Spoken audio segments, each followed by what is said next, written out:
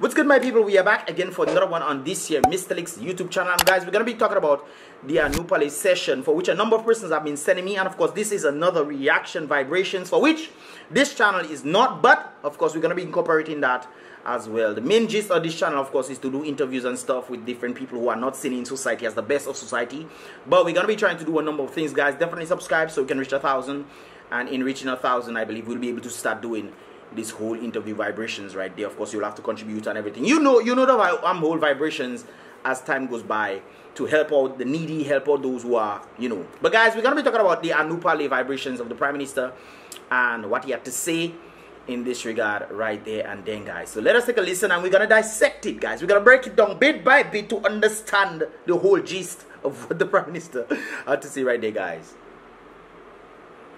they have to do. It's a serious. Uh, we have to have a cultural shift hmm. uh, in this. I mean, in my case as prime minister of the country, I mean, thirty-two thousand in, in any currency is a lot of money. I, I you think? Uh, no, guys. Let us go back. Let, let us let us let us start from the starting. We right have to do. It's a serious. Uh, we have to have a cultural shift. The Prime Minister mentioned cultural shift. Now, what exactly does cultural shift mean, and to whom does the cultural shift belong to, so to speak? Or to which direction does the cultural shift have to happen? For who does it benefit? Is it a beneficial of the whole um, entire community? Of the cultural aspect of people involved in that culture, or is a or is it a segment that he's talking about when it comes down to the cultural shift, where these individuals benefit and the others have to get their own cultural shift as well. Now, the Prime Minister also mentioned something about uh, $32,000 right there. Of course, a number of persons, we tend to know what that means. And of course, it's renting a business, not business, but renting a mansion in Morne Daniel for $32,000 minimum. But we're going to see what he has to say right there. Uh, in this, I mean, even in my case as Prime Minister of the country, I mean, 32000 in, in any currency is a lot of money. I, will be the first to admit it. Definitely. Uh, Especially, not just in a, a country, you know, or in any currency, but in whose country is $32,000? Is it a striving economy, economy or is it a country that is going down the drain according to central bank and to a number of the business Caribbean inside which stated that Dominica's economy is going down. So what are we doing with the $32,000 that is headed towards the prime minister renting a mansion for him to live in? Now, guys, I heard a while ago Ian was talking about the Prime Minister and saying, oh, he really needs this and all these kind of things here. Now, guys, don't get me wrong when I say this. When it comes down to a striving economy, where you have money to do things, then obviously doing things like this, of course, make him build two, three houses as long as the people are benefiting. Because the whole gist of a Prime Minister being in an establishment is for the people. And apparently he mentioned cultural shift, which, for instance, it is him who is going to be getting the cultural shift. When it comes down to the other people, I mean, look at what happened during um the whole pandemic situation where individuals were not getting monies, were not getting things. A few, well, I'll say a few got a little bit of money here and there, and a few got some packages. But when it comes on to the diversification of all the people for a cultural shift, it seems like the person who's getting the most, the best benefited, the best benefit out of all of this is the one at the top who is the prime minister who's supposed to be doing things for the people. And that, my friends, is a problem. Anyways, this is what I have to say right there. Um, but one gets a sense that there is a feeling that, you know, maybe the, the, the prime minister should be staying in, in some banana um, shed. boy, boy, boy. Guys, give me one person in this globe or knows the prime minister who is thinking that, hey, the prime minister should be staying in a banana shed. Now, for example of reality, we know that the prime minister has a house. Not about. Um, let me take that back. He has a mansion in Vieille Case, and this is the mansion right there, guys. This is the mansion right there, guys. Let me close this thing right there. This is the mansion that the prime minister is staying in, and of course, there were a number of children that were actually coming into this thing to swim in the swimming pool. This is, of course, after Hurricane Maria. I went up to Vieille Case to do an aerial shot. You can actually check out the aerial shot of that Hurricane Maria Vieille Case um, or Dominica Vieille Case, whatever, you'll get this video on Ariel Dominica, guys. But this is the Prime Minister's mansion right here. Now, let me show you what a normal house, a normal big house in Vieille Case looks like.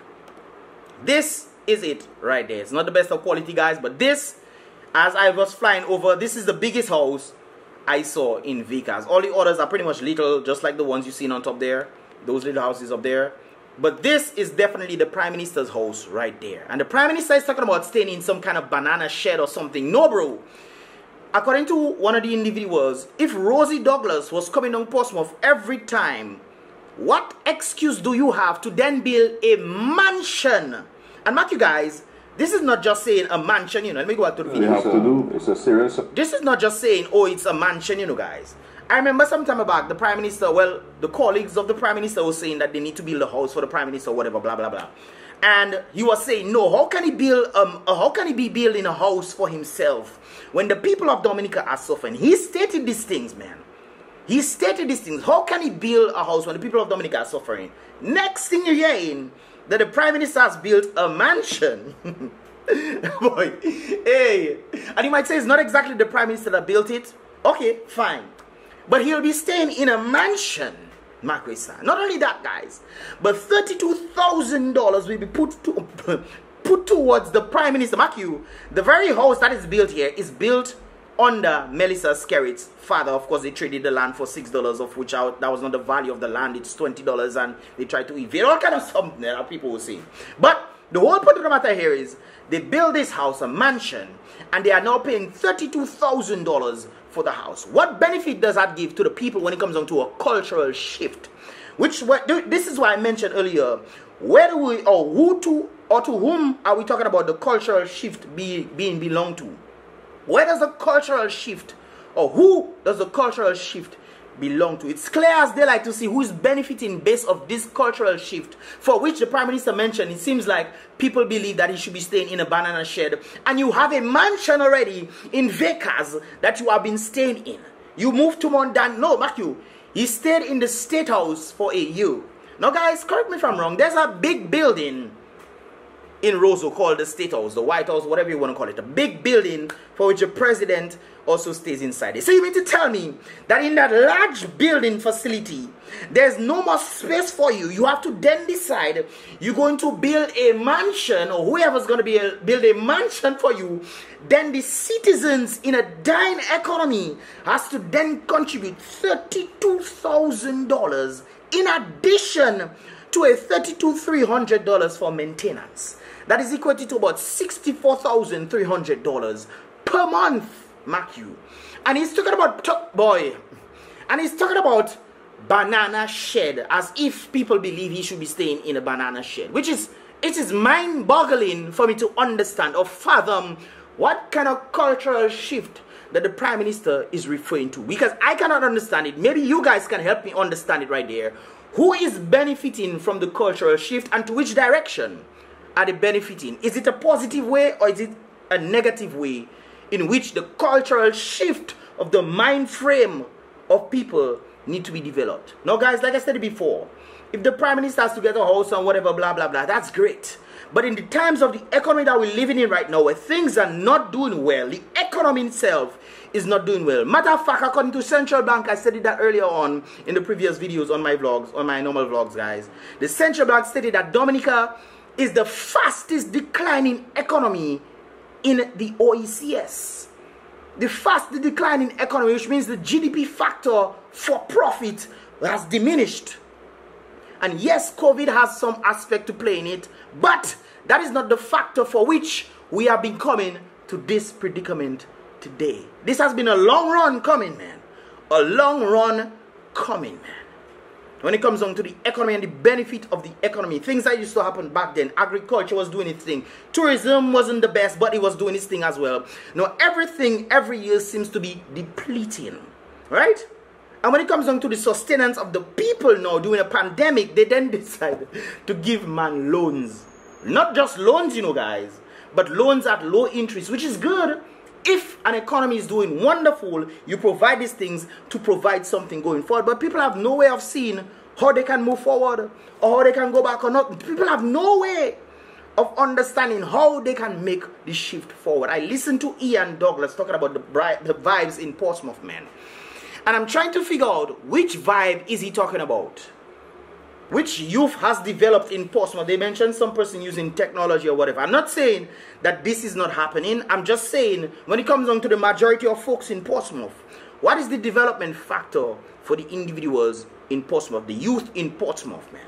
What is the whole gist of the elevation for Dominica itself when in fact that the economy is the fastest declining economy in the Caribbean. St. Vincent and the Grenadines, guys.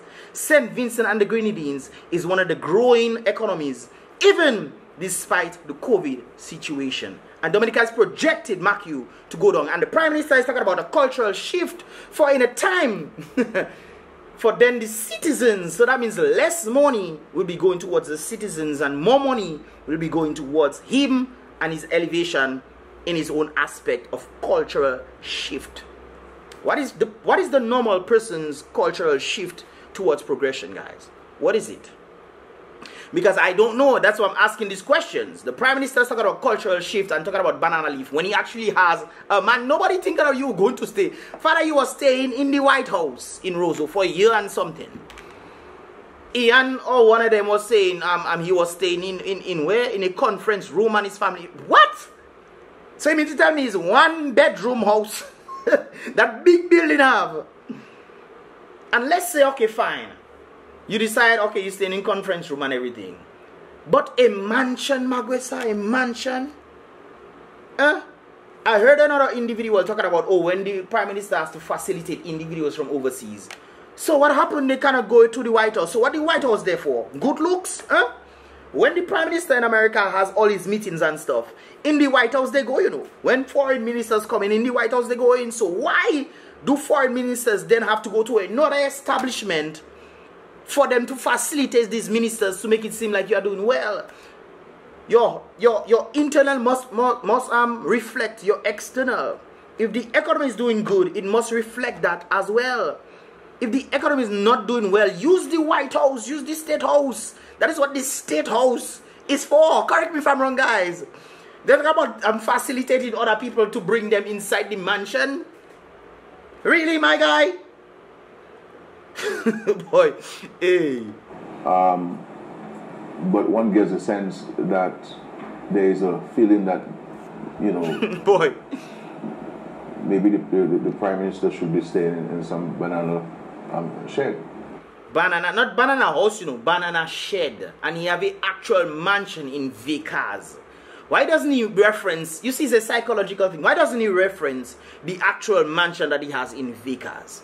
Furthermore, you also live in Morne Daniel as well. So what happened to what, boy, so what happened to the present situation of you living in Morne Daniel? You then have to go and decide to build a mansion for then the citizens to have to contribute 64,000 plus dollars per month to your living conditions, man.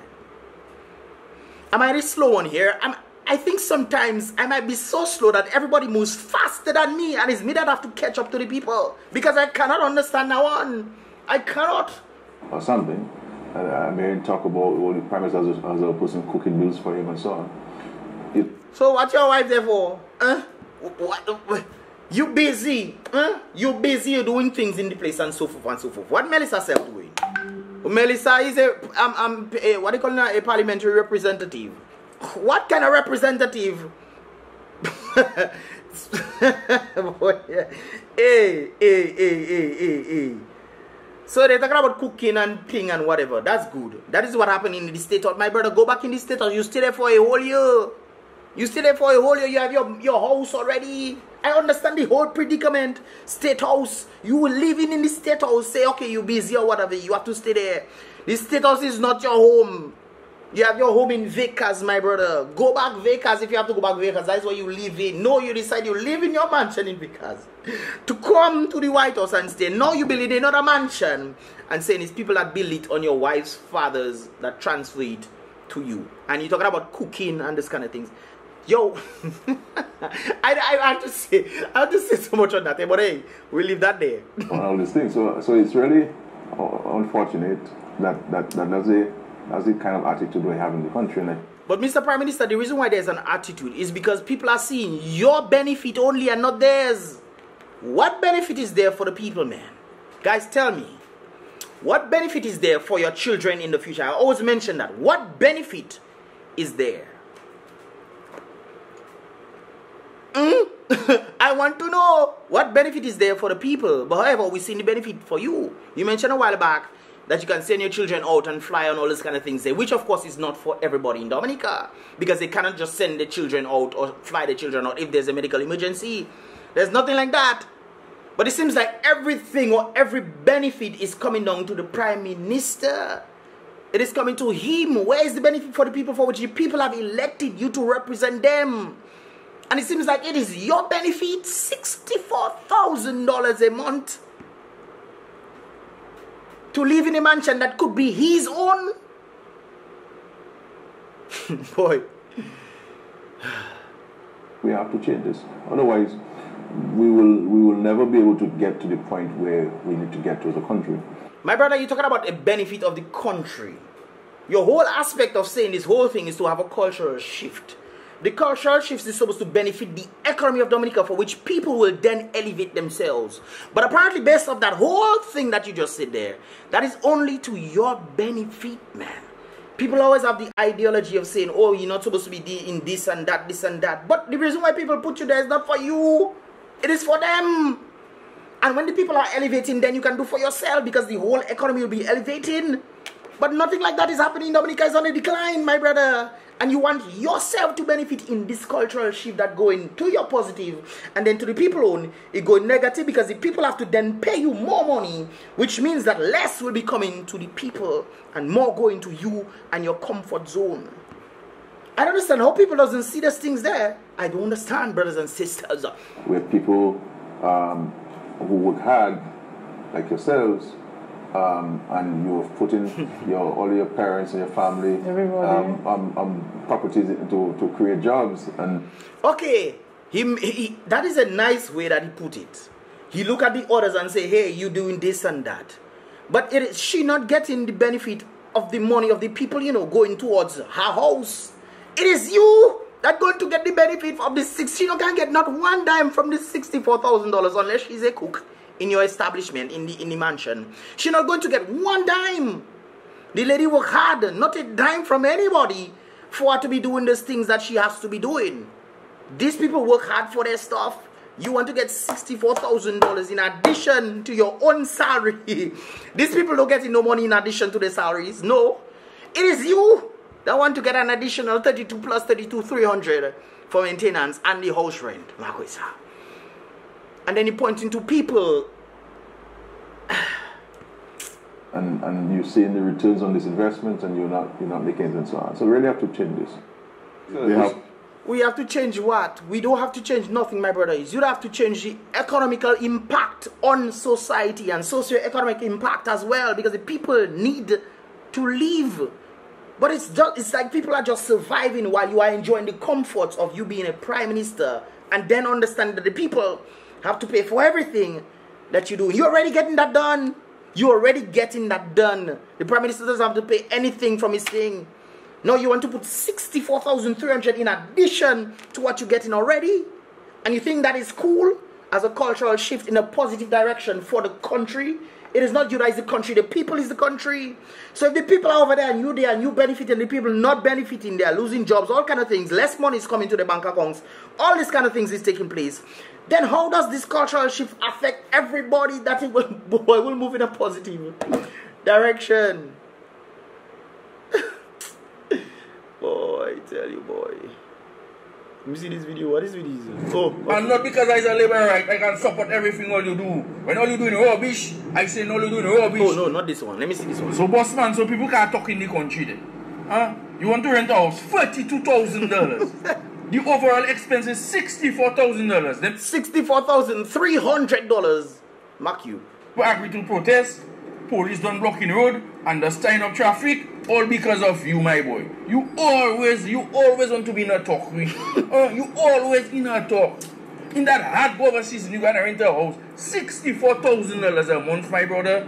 And you don't want people to talk. And before people say they can protest, you blocking the road. But that is what they have to do. In a dictatorship, that is the kind of sense that people have to do. When people realize what is going on and they say, no, that should not happen, they are then trying to prevent that from happening so it can continue. That is why I mentioned some time back in the previous um, other channel about kings the, the people at the bottom, the subjects at the bottom are pretty much feeding the king on top. The people are pretty much giving the prime minister money for him to do whatever he wants. When the people try to protest, there's a force that is keeping them down so that he can maintain his kingdom. You see how it works, guys? The king to the subjects, the prime minister to the people. You also, yeah, let's go back to the other one right there. All you doing good, I saying all you doing good. And at $64,000, that is a strain now. You check, go Vieille Case and live in your mansion for Obviously. the time. Go Vieille Case. The road good, go up and down. Rosie Douglas was doing it. Exactly. You can do it too. That $64,000 is a strain on taxpayers' back.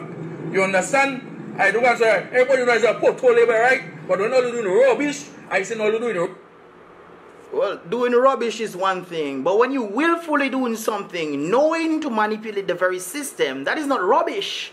That is thievery right there.